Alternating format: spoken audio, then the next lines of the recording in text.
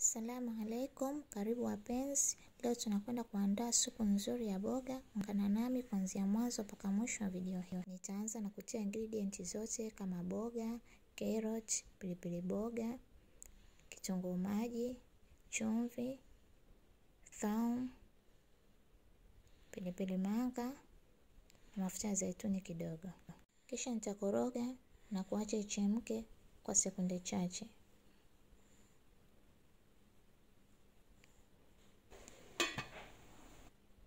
Nitaongeza maji na kuacha ichemke tena. Supu yangu ipo tayari kwa kusaga.